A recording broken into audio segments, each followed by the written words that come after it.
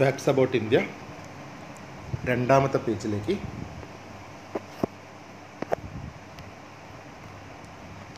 പതിനൊന്നാമത്തെ ചോദ്യം. Which tiger reserve got its official mascot recently ഈ അടുത്ത കാലത്ത് ഔദ്യോഗിക മുദ്ര ലഭിച്ച കടുവ സങ്കേതം കടുവ സംരക്ഷണ കേന്ദ്രം ഏതാണ്? Which tiger reserve got official mascot recently ഈ അടുത്ത കാലത്ത് സ്വന്തമായി ഭാഗ്യചിഹ്നം ലഭിച്ച കടുവ പരീക്ഷ സംരക്ഷണ കേന്ദ്രം ഏതാണ്? Option A Corbett option B Kanha option C Panna option D Nagarjun Sri Sagar Srisailam. Official mascot എന്ന് പറഞ്ഞാൽ നമുക്കറിയാം. നമുക്ക് ഓരോരോ ഗെയിംസൊക്കെ നാഷണൽ ഗെയിംസും മറ്റുള്ള ഗെയിംസുകളൊക്കെ നടക്കുന്ന സമയത്ത് ഏഷ്യൻ ഗെയിംസൊക്കെ നടക്കുന്ന സമയത്ത് അതിന് ഭാഗ്യചിഹ്നം ഉണ്ടാവും. ഇന്ത്യയിൽ ഒരേ ഒരു ടൈഗർ റിസർവിന് മാത്രമേ ഭാഗ്യചിഹ്നമുള്ളൂ. അതിന്റെ ആൻസർ ഓപ്ഷൻ ബി ആണ് കൻഹ. ആണ് ഇതിന്റെ ശരിയായ ഉത്തരം. അതിന്റെ മാസ്കറ്റിന്റെ പേര് കൂടെ നമ്മൾ അറിഞ്ഞിരിക്കണം. ആ മാസ്കറ്റിന്റെ പേരാണ് ബൂർ സിംഗ് ദ ബരാസിംഹ. ബൂർ സിംഗ് ദ ബരാസിംഹ എന്ന മാൻകുട്ടിയാണ്. ഇതാണ് Bhoorsingh the and the Barasingha എന്ന മാൻകുട്ടി. പേരിങ്ങനെയാണ് ബൂർ സിംഗ് ദ ബരാസിംഹ. ഇത് കിട്ടിയിരിക്കുന്നത് കൻഹ ടൈഗർ റിസർവിനാണ്. ഇന്ത്യയിൽ ആദ്യമായിട്ടാണ് ഒരു ടൈഗർ റിസർവിന് സ്വന്തമായിട്ട് മസ്കറ്റ് ഉള്ളത്. മസ്കറ്റ് എന്ന് പറഞ്ഞാൽ ഭാഗ്യചിഹ്നം. ഭാഗ്യചിഹ്നം ആ ഭാഗ്യചിഹ്നം ഒരു മാൻകുട്ടിയാണ്. അതിന്റെ പേരാണ് ബൂർ സിംഗ് ദ ബരാസിംഹ. കൻഹയ്ക്കാണ് മറ്റു ഓപ്ഷനുകളിലേക്ക് നമുക്ക് നോക്കാം. ആദ്യത്തെ ടൈഗർ റിസർവ് ആദ്യത്തെ നാഷണൽ പാർക്കാണ് Corbett option A. Option C Panna ഞാൻ പറഞ്ഞു കഴിഞ്ഞു Maharashtra മധ്യപ്രദേശിലാണ് Panna tiger reserve.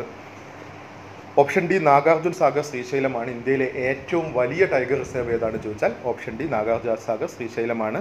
Kanha tiger റിസർവിനാണ്. കൻഹ നാഷണൽ പാർക്കുണ്ട് ടൈഗർ റിസർവ് ഉണ്ട്. നമുക്കറിയാം. പിന്നെ ജംഗിൾ ബുക്കിന്റെ മൗഗ്ലിയുടെ കഥയൊക്കെ വന്നിരിക്കുന്നത്. ആ കൻഹ നഷിപ്പാക്കിന്റെ അടിസ്ഥാനത്തിലാണ്.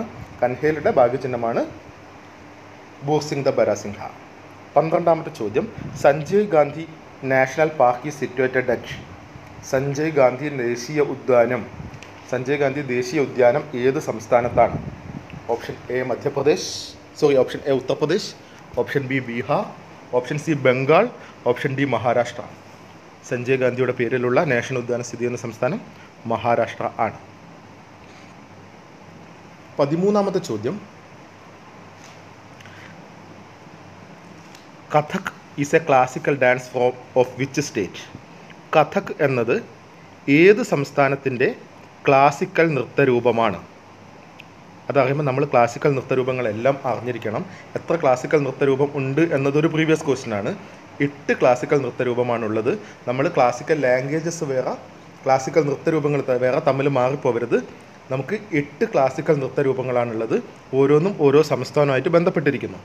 ഓരോന്നായിട്ട് നമുക്ക് നോക്കാം. ക്ലാസിക്കൽ നൃത്ത രൂപങ്ങൾ. ഒന്ന് മോഹിനിയാട്ടം. സംസ്ഥാനം ഞാൻ പറയേണ്ട ആവശ്യമില്ല. കേരളമാണ്. രണ്ടാമത്തേത് കഥകളിയാണ്. അതും ഞാൻ പറയേണ്ട ആവശ്യമില്ല. സംസ്ഥാനം കേരളമാണ്. മൂന്നാമത്തേത് ഭരതനാട്യം. സംസ്ഥാനം തമിഴ്നാടാണ്. ചലിക്കുന്ന നൃത്തം എന്നറിയപ്പെടുന്നത്. ചലിക്കുന്ന കാവ്യം എന്നറിയപ്പെടുന്നത് ഭരതനാട്യമാണ്. ചലിക്കുന്ന കാവ്യം എന്നറിയപ്പെടുന്ന ക്ലാസിക്കൽ നൃത്തരൂപം ഏതാണ് എന്ന് ചോദിച്ചാൽ ഭരതനാട്യമാണ്. ഇന്ത്യയുടെ നാഷ് ക്ലാസിക്കൽ നൃത്തരൂപം ഏതാണ് എന്ന് ചോദിച്ചാലും ഭരതനാട്യം തന്നെയാണ്. ഭരതമുനിയാണ് നാട്യശാസ്ത്രത്തിന്റെ ഭരതമുനിയുടെ നാട്യശാസ്ത്രത്തിന്റെ നൃത്തരൂപം ഏതാണ് എന്ന് ചോദിച്ചാലും ഭരതനാട്യമാണ്. ആ ഭരതൻ എന്ന പേര് ഭരതനാട്യത്തിന് കിട്ടും. അപ്പം ഭരതനാട്യമായിട്ട് ബന്ധപ്പെട്ടാക്കേണ്ടത് ഇന്ത്യയുടെ ക്ലാസിക്കൽ നൃത്തരൂപം എന്നറിയപ്പെടുന്നത് ഭരതനാട്യമാണ്. ഭരതനാട്യം തമിഴ്നാടിന്റെ ക്ലാസിക്കൽ നൃത്തരൂപമാണ്. ചലിക്കുന്ന കാവ്യം എന്നറിയപ്പെടുന്നത് ഭരതനാട്യമാണ്. അപ്പോൾ ഞാൻ പറഞ്ഞ മൂന്നാമത്തേതാണ് ഭരതനാട്യം. നാലാമത്തേത് കുച്ചിപ്പുടി. സംസ്ഥാനം ആന്ധ്ര ആണ്. അഞ്ചാമത്തേത് ഒഡീസി നൃത്തമാണ്. സംസ്ഥാനം ഒഡീഷ ആണ്. ചലിക്കുന്ന ശില്പം എന്നറിയപ്പെടുന്ന ക്ലാസിക്കൽ നൃത്തരൂപം ഏതാണെന്ന് ചോദിച്ചാൽ ഒഡീസിയാണ് ചലിക്കുന്ന കാവ്യം ഭരതനാട്യമായിരുന്നു. ചലിക്കുന്ന ശില്പം ഒഡീസി ആണ്. കേളുചരൺ മഹാപാത്ര ഏത് ക്ലാസിക്കൽ നൃത്തരൂപവുമായി ബന്ധപ്പെട്ടിരിക്കുന്നു എന്ന് ചോദിച്ചാൽ ഒഡീസി നൃത്തമാണ്. കേളു ചരൺ മഹാപാത്ര ഒറീസക്കാരനാണ്. അദ്ദേഹം ഒഡീസി നൃത്തവുമായിട്ട് ബന്ധപ്പെട്ടിരിക്കുന്നു. ആറാമത്തേത് കഥക് ആണ്. കഥക് ഏത് സംസ്ഥാനത്തിന്റെ ക്ലാസിക്കൽ നൃത്തരൂപമാണ് എന്ന് ചോദിച്ചാൽ ഉത്തർപ്രദേശാണ്. കഥക് ഉത്തർപ്രദേശിന്റെ ഉത്തരേന്ത്യയുടെ എന്ന് ജനറലി പറയുമെങ്കിലും കഥക് ഉത്തർപ്രദേശാണ്. ഓപ്ഷൻ സി അതാണ് കറക്റ്റ് ആൻസർ ഏഴാമത്തേത് സത്രിയ ആണ്. സത്രിയ അത് ആസാമിന്റെ ക്ലാസിക്കൽ നൃത്തരൂപമാണ്. എട്ടാമത്തേത് മണിപ്പൂരിയാണ് അത് ആ പേരിൽ നിന്ന് തന്നെ നമുക്കറിയും. മണിപ്പൂരിന്റെ ക്ലാസിക്കൽ നൃത്തരൂപമാണ്. അപ്പോൾ നമുക്ക് എട്ട് ക്ലാസിക്കൽ നൃത്തരൂപമാണുള്ളത്. Mohiniyattam Keralam.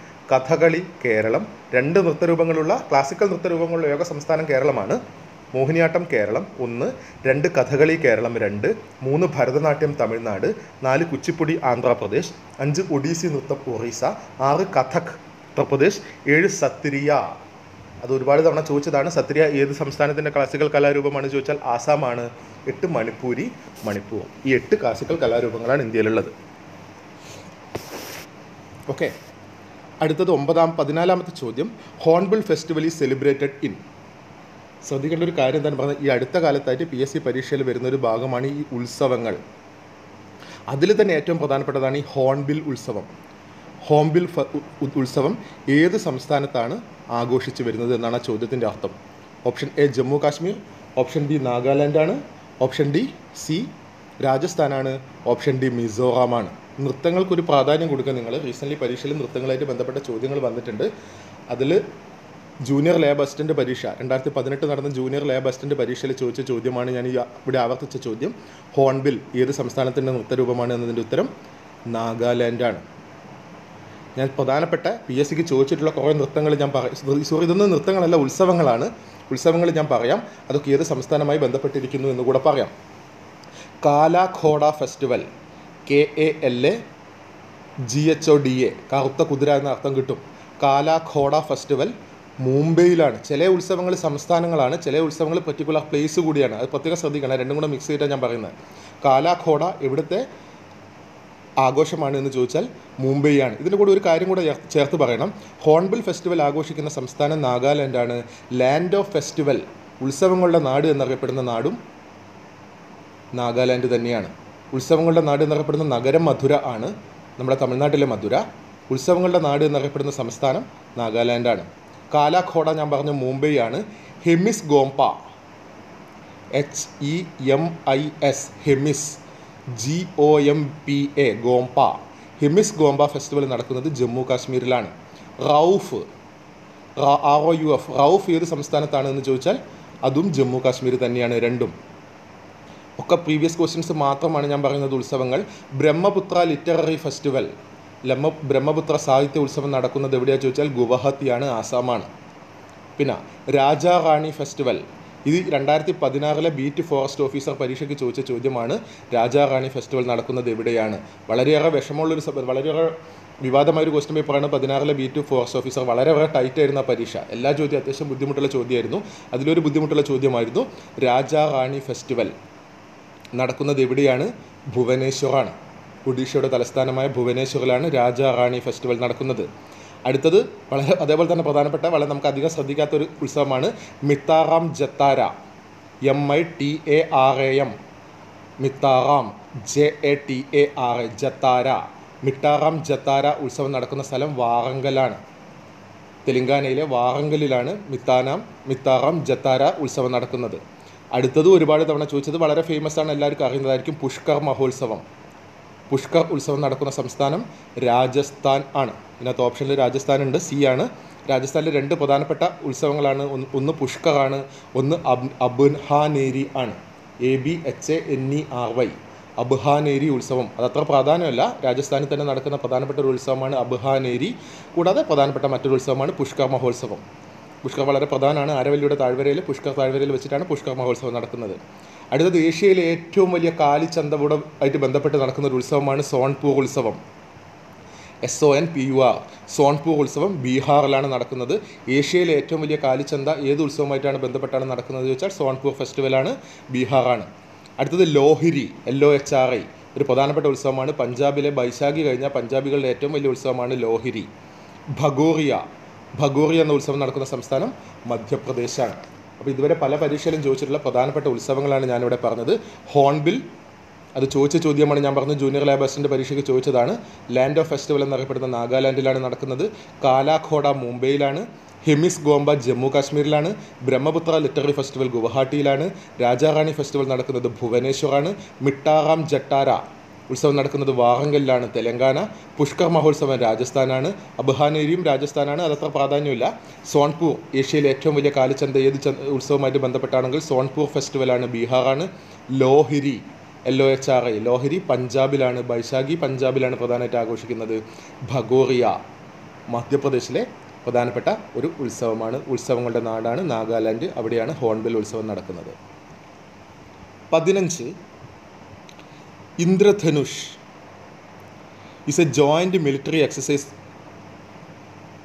of India and which country Indradhanush എന്നത് ഇന്ത്യയും മറ്റേത് രാജ്യവും കൂടെ ചേർന്നുള്ള സംയുക്ത സൈനിക അഭ്യാസത്തിന്റെ പേരാണ്. ഇതും പ്രീവിയസ് ക്വസ്റ്റൻ ആണ്. ഞാൻ പറഞ്ഞ മാതിരി ഈ പരീക്ഷയിൽ ഒരുപാട് പുതിയ ട്രെൻഡുകൾ ഫാക്സ് അബൌട്ട് ഇന്ത്യയിലുണ്ട്. അതിൽ നിന്നാണ് നമ്മൾ ഉത്സവങ്ങളായിട്ട് ബന്ധപ്പെട്ട ചോദ്യങ്ങൾ ചോദിക്കുന്നത്. അതേമാതിരി തന്നെ സ്ഥിരം ചോദ്യങ്ങൾ വരുന്ന ഒരു ഭാഗമാണ് ഈ ജോയിന്റ് സൈനിക ഇത് ജോയിന്റ് മിലിറ്ററി എക്സസൈസ് സംയുക്ത സൈനിക അഭ്യാസം എന്ന് പറയും. ഇന്ദ്രധനുഷ് എന്നത് ഇന്ത്യയും ഏത് രാജ്യവും ചേർന്നുള്ള സംയുക്ത സൈനിക അഭ്യാസമാണ് എന്നുള്ളതാണ് ചോദ്യം. Option A Nepal. Option B Thailand. Option C U S A and option D Britain ആണ്. ഇതിന്റെ ശരി ഉത്തരം ഓപ്ഷൻ ഡി ബ്രിട്ടൻ ആണ്. അത് പറയുമ്പോൾ തന്നെ അത് അതുപോലെ തന്നെ നമ്മൾ ഇന്ത്യയായിട്ട് നടക്കുന്ന പ്രധാനപ്പെട്ട കുറേ സൈനിക അഭ്യാസം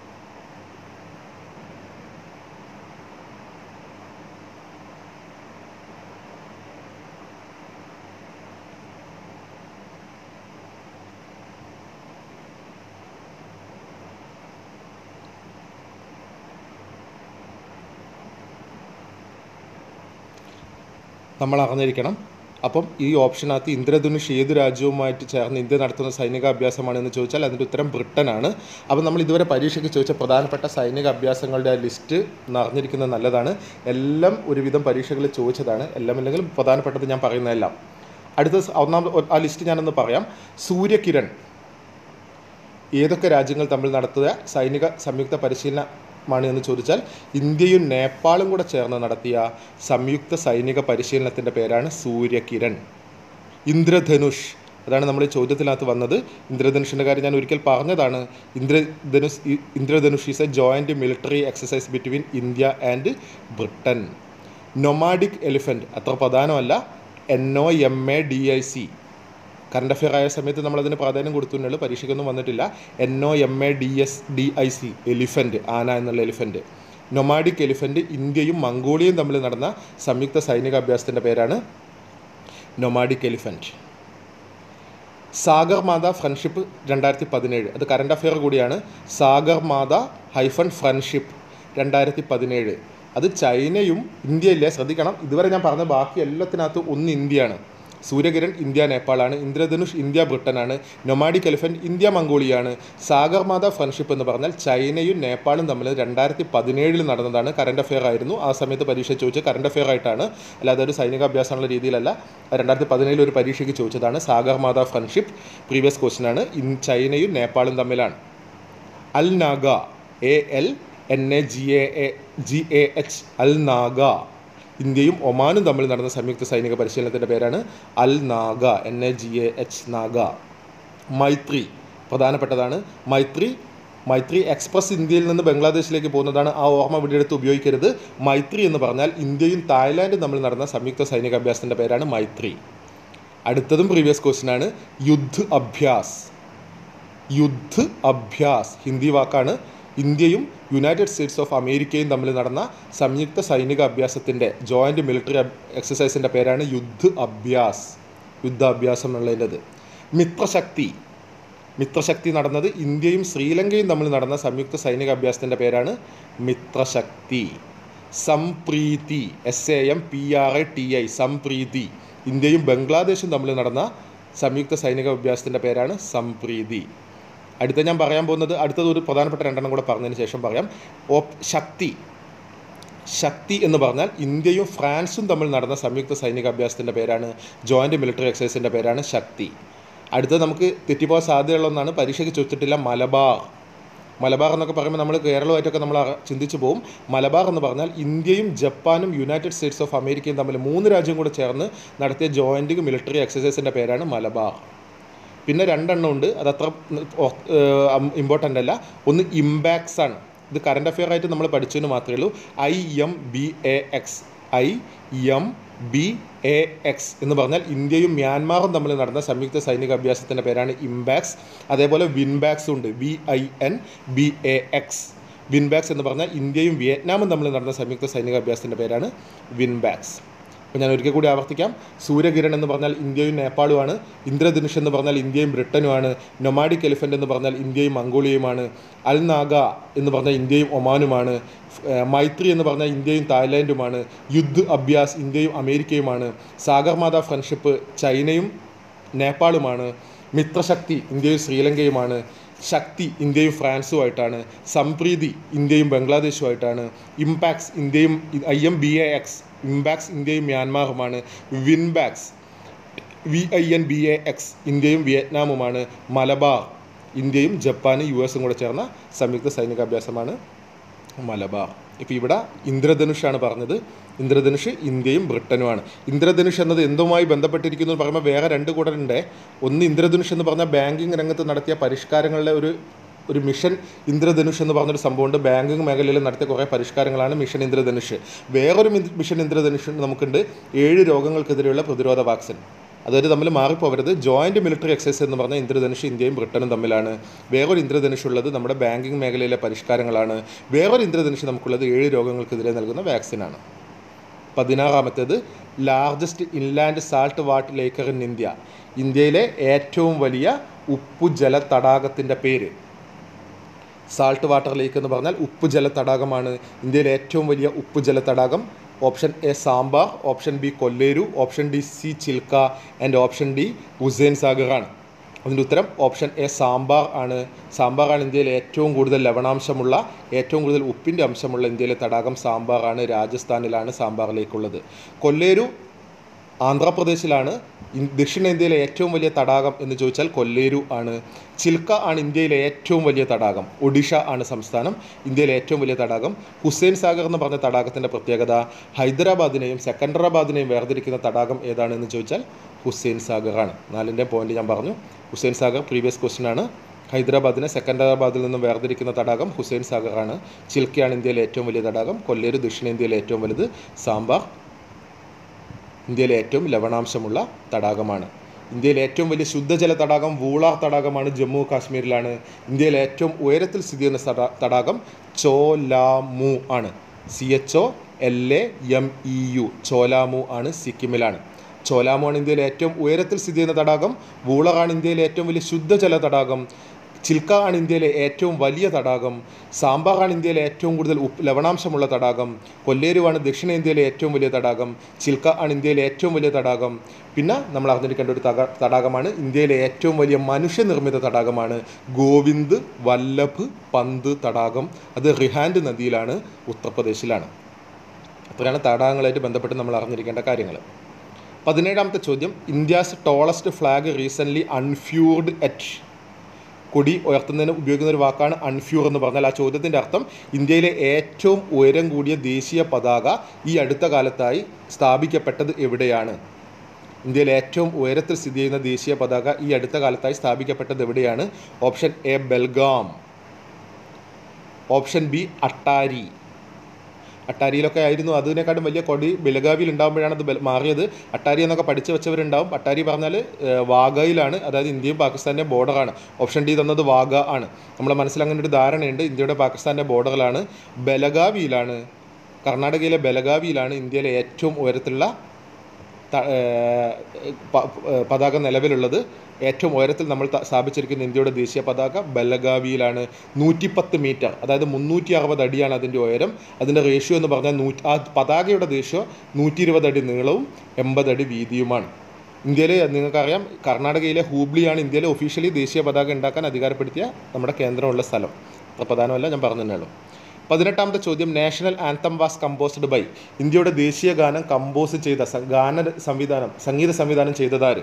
ഇന്ത്യയുടെ ദേശീയ ഗാനമായ ജനഗണമന. ഇതിന്റെ സംഗീത സംവിധാനം നിർവഹിച്ചതാര് എന്നാണ് ചോദ്യം പതിനെട്ടാമത്തത്.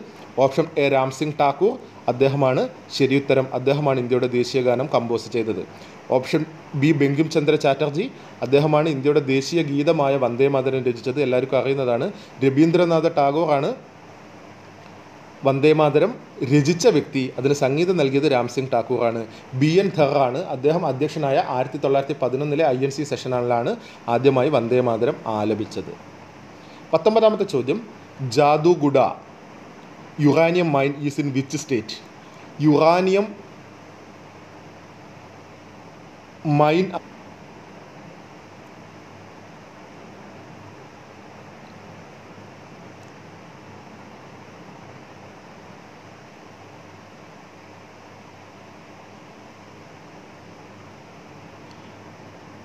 uranium ഖനി ആയ ജാദുഗുഡ ഏത് സംസ്ഥാനത്താണ്?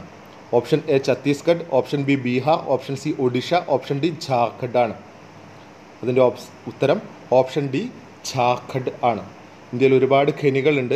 അതിനകത്ത് മാറിപ്പോവാനും ഒരുപാട് തവണ ആവർത്തിച്ച കുറച്ചെണ്ണം മാത്രം നമ്മൾ അറിഞ്ഞിരുന്നാൽ മതി. അതിലൊന്നാണ് പന്ന. പന്ന നാഷണൽ പാർക്കുണ്ട് പന്ന ഖനിയുണ്ട് രണ്ടും മധ്യപ്രദേശിലാണ്. അതുകൊണ്ട് തെറ്റിപ്പോകുന്ന പ്രശ്നം വരുന്നില്ല. P A N N A Panna.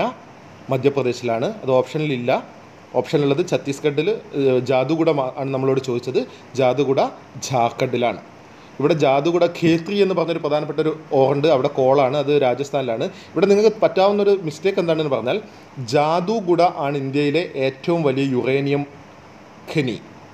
ഇന്ത്യയിലെ ഏറ്റവും വലിയ യുറേനിയം ഖനിയായ ജാദുഗുഡ ഝാർഖണ്ഡിലാണ് വേറൊരു ഖനിയുണ്ട് ജാർസുഗുഡ.